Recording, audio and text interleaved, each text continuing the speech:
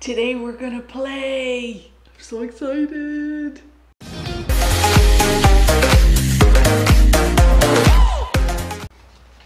Hi guys, welcome to Life with Tina B. I'm Tina and as you saw today, we are going to be testing out the mini breaker from Jeffree Star Cosmetics.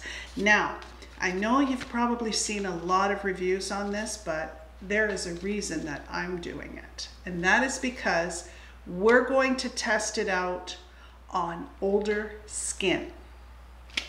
Being that I am going to turn 50 in February, so I thought, well, you guys have seen the Mini Breaker perform on younger skin. Let's see how it performs on older skin. So the palette itself is gorgeous. There it is. And I've swatched everything and I have been playing with the more neutral tones. So I thought today we are going to do some kind of iconic-ish pink look from this with a hope and a prayer and hopefully I can do it justice because I'm not a professional. But if you guys would like to see me do this, then stick around, maybe like and subscribe, and maybe we'll do more of these as new palettes and new things come out if you guys like it. So let's get started. So I think the first thing uh, before we go, obviously I have my tinted moisturizer, concealer, everything is all done, browser on, and I'm primed and ready to go. So we're gonna start out with um, Foreplay. I'm gonna use that as our um, transition shade. And wow because she's like seriously pink and gorge. There are some amazing makeup artists out there. And there are some amazing um, channels to you know that review makeup. And and they're spectacular. But I I guess I was just feeling like a little bit of what about like what about me? You know like what about my niche? What about the the woman or the man who is you know in their 50s or 60s or or whatever like do these products perform on crepey well-aged skin so I thought well you know what I'm not a pro but we're going to give this a go. I mean, I, I think I can, I can hold my own doing some makeup, so we're gonna do it. This color is absolutely stunning. I love it. So I think for right in the crease and maybe bring it a little bit into the lid, um, I want to do the purple punch right in the middle. I think that would be pretty. So let's give that a go. And um, I, I think, guys, that really, oh my gosh, is this ever pretty? I think that there's something to be said anyway for um, a woman or a man in my age range using uh, especially the uh, the jawbreaker because um, or the mini because these colors were actually out in um, the 80s and uh, we all wore them the first time they came out.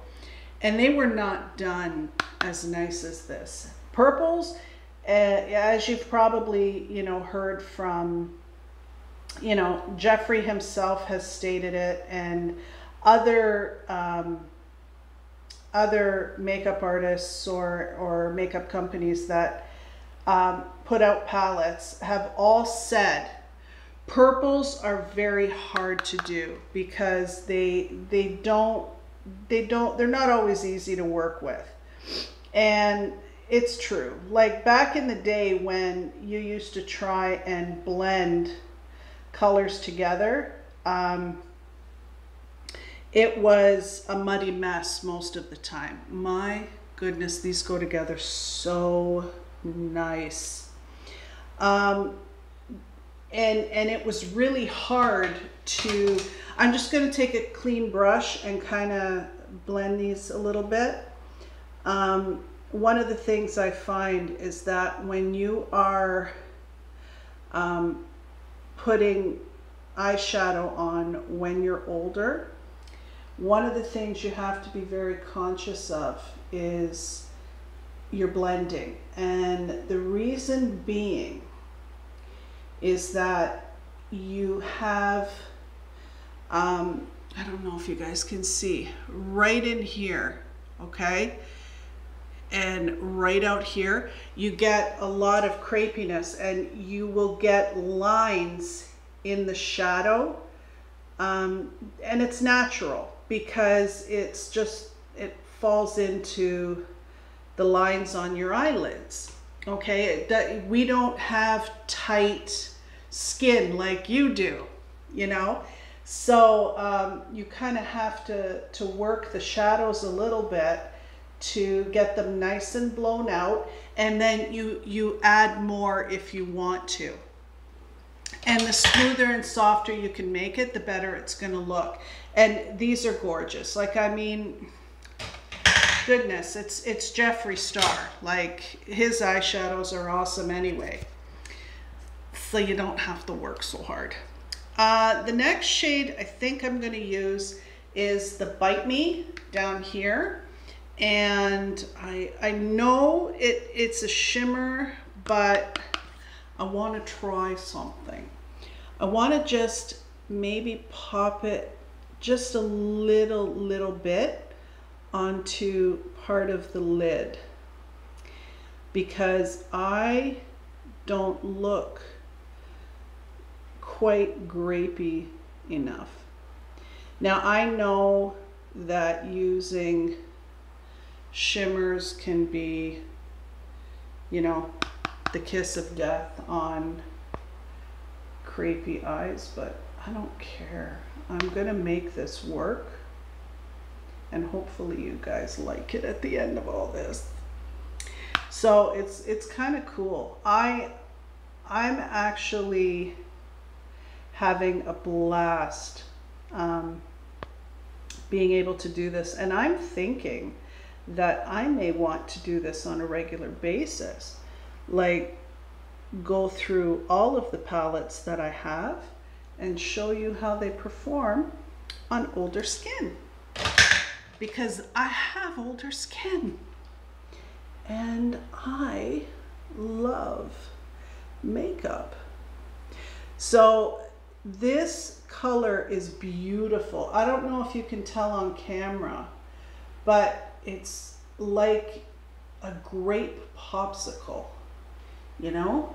Like it's, it's like almost like grape Kool-Aid. Like it's so pretty and it looks fabulous. If you have brown eyes, this palette looks beautiful. So um, I'm gonna look great when I go outside to bring the garbage pails in from garbage day because everybody's gonna be like, wow, that is intense. And I'll say, I know, right? Okay, so I think we will add a little bit of bubble gum and I'm just gonna go in here because you know it's not enough with foreplay. We we need more pink. And I'm just like just a hint. I don't want to go nuts because I, well I already did but You'll see what I'm thinking in a second. Everything for me is about layering and continuously blending because the smoother you can get it, the better it looks. in the end. You know what I mean?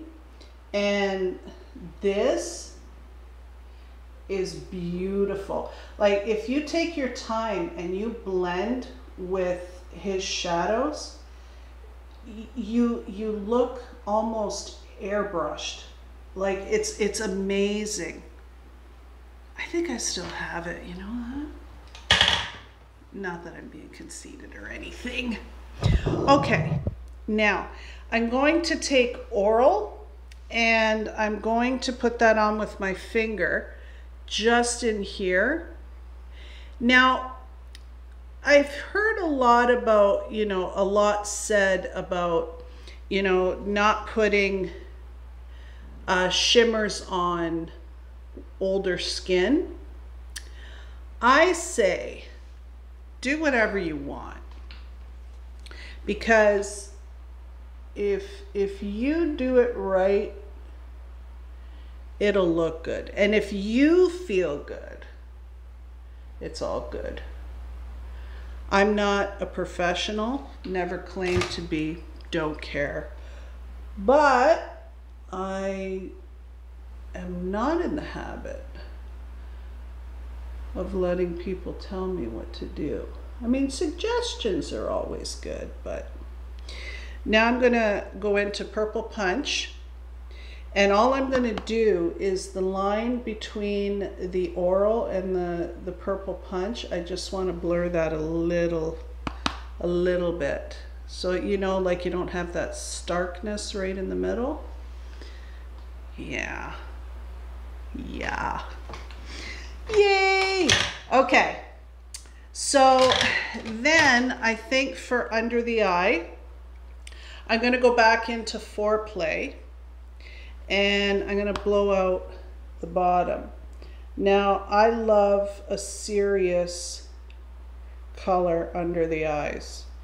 And fun fact, I don't often wear eyeliner because um, my heart medication makes my eyes very dry and they leak a lot. This is so pretty. So I had to figure out a way to really be dramatic when I want to be without using eyeliner because it always ends up halfway down my face and or it's settling into the fine lines under my eyes. Okay? So you guys can see what I did here. Okay, I like to bring it down quite far. All right. Then what I do is I'll, I'll take an angled brush, okay, and I'll go into, um, I think we'll go into Purple Punch.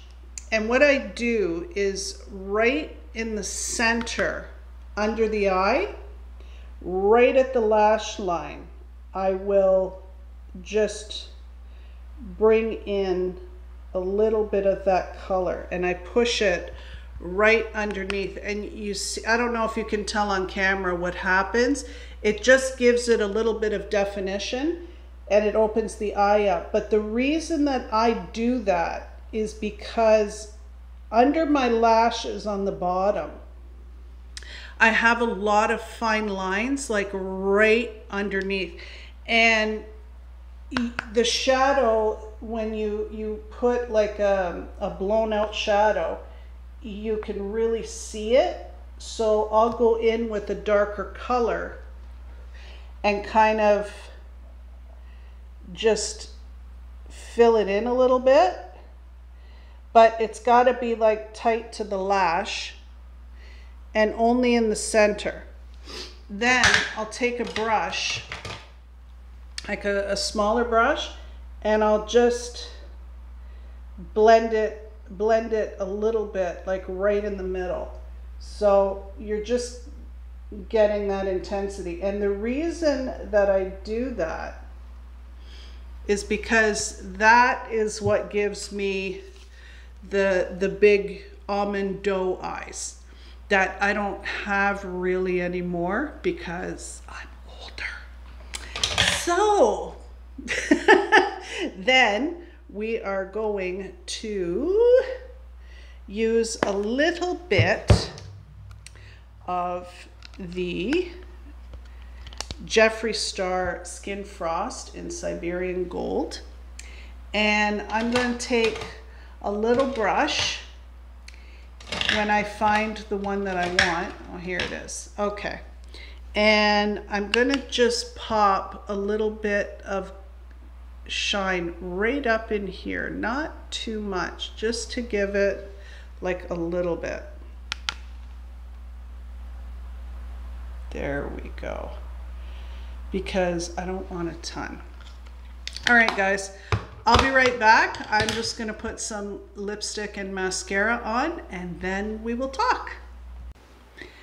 Well, guys, here you go. And we have Thick as Thieves on the lips and I've just popped on some mascara. And this is the mini palette on older skin. I actually like, uh, there's been a lot of talk about the, the other colors besides the, um, the pinks and purples. I actually like them because it enables me to do neutral looks with it, which I do like. So for me, this is a win on both counts. I love all the colors in here. And if you are around my age, don't be afraid to use it. It performs beautifully. And let me know down below if you guys want to see me review more eyeshadow palettes or makeup products on older skin. Remember, I'm not an expert. I'm just a lady who likes to play with makeup. We'll see you again tomorrow. I love you like mad. Bye for now.